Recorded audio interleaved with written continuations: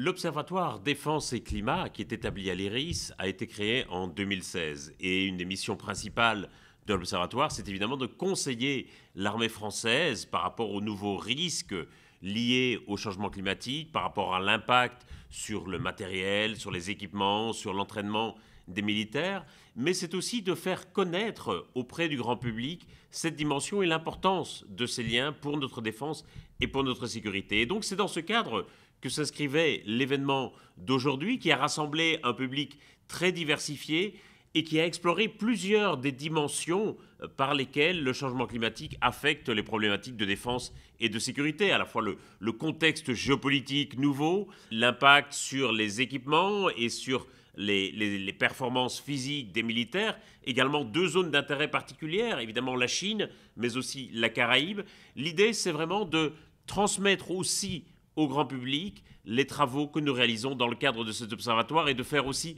vivre dans le débat public cette dimension du lien entre climat, défense et sécurité qui va devenir de plus en plus importante à l'avenir. Dans le cadre de cet événement, outre une conférence de restitution au grand public, nous avons également organisé pour un public plus restreint et plus sélectionné ce qu'on appelle un jeu de guerre, un wargame en anglais, c'est-à-dire une mise en situation dans un contexte de crise, ce qui était une activité aussi de formation pour ceux qui, demain, seraient directement confrontés à des crises humanitaires liées au changement climatique. Et c'est évidemment une occasion aussi de mettre en pratique directement toute une série de connaissances, de résultats, d'études que nous avons pu produire dans le cadre des travaux de l'Observatoire.